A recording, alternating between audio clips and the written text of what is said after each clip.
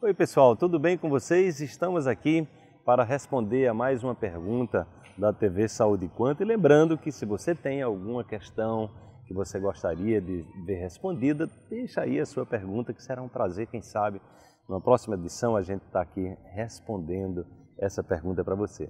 Então vamos para a pergunta de hoje, que é a pergunta do, Aldi, do Adilson Desidério. Né? Ele pergunta o seguinte: Prezado, a física quântica pode ser palpável como a energia elétrica, por exemplo, ou algo somente subjetivo? Abraços, parabéns, sucesso.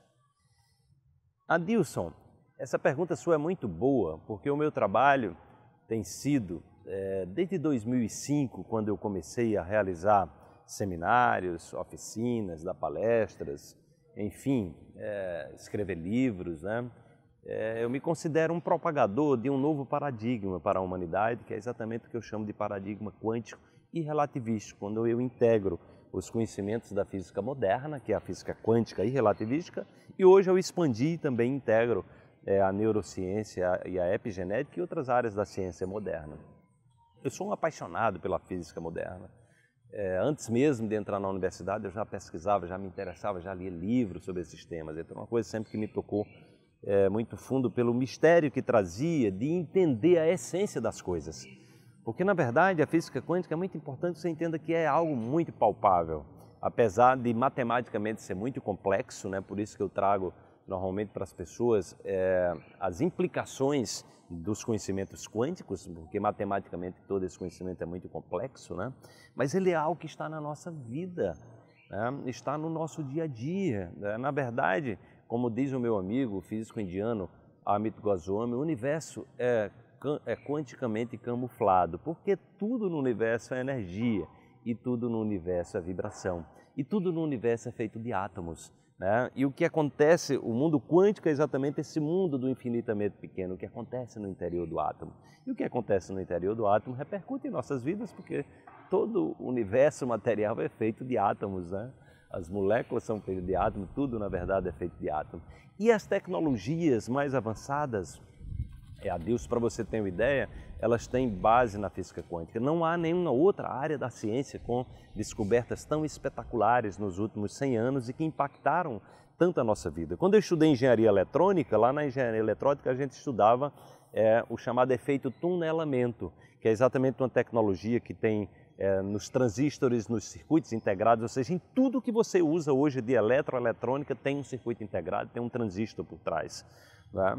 Então, isso aí, a tecnologia que está por trás é uma tecnologia baseada no salto quântico, né? que é exatamente um trabalho que eu tenho, é um método que eu desenvolvi, um salto quântico, eu uso, eu uso esses conhecimentos da física quântica para mostrar como a nossa mente também pode ser levada é, a partir de uma motivação necessária para um outro nível de percepção. Então, é, para você ter uma ideia, alguns poucos anos atrás, acho que 2012, quando foi descoberta a chamada o, o, a, o bóson de Higgs, que foi chamado de partícula de Deus, que deu o prêmio Nobel aos descobridores, né? Foi algo que foi teoricamente 50, foi descoberto 50 anos atrás, foi provado só depois, é, há pouco tempo, né?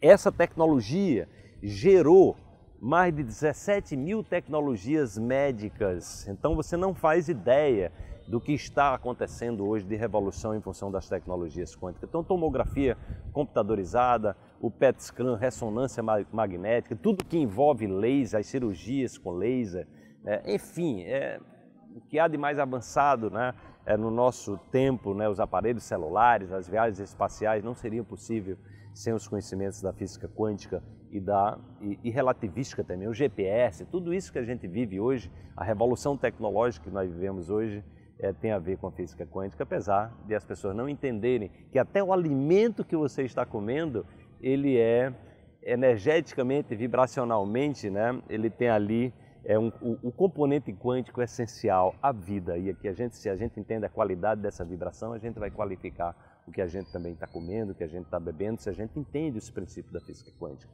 Então é muito importante que você saiba que conhecer os princípios da física quântica nos levam por um caminho seguro, um caminho de reconexão com a natureza, um caminho de entender o universo numa linguagem energética e vibracional e que qualquer ser humano É, inclusive as crianças, já, já existem crianças aprendendo aí esses princípios da física quântica, colocando no seu dia a dia, transformando a sua vida. Tá? Se você quer se aprofundar nesse tema, é, em fevereiro de 2017 eu estarei abrindo é, a minha próxima turma do meu curso, onde eu desenvolvi um método chamado salto quântico, onde eu uso todos esses princípios da física quântica e outros princípios de outras áreas da ciência para exatamente criar as condições para que você possa evoluir e viver com propósito e de maneira saudável, tá bom?